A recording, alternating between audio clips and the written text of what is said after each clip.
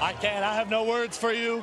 We have such an unbelievable section here. I have the best teammates in the world. I love each and every one of them, and when we go out and believe in each other, I mean, anything is possible. I know it's cliche, but anything is possible.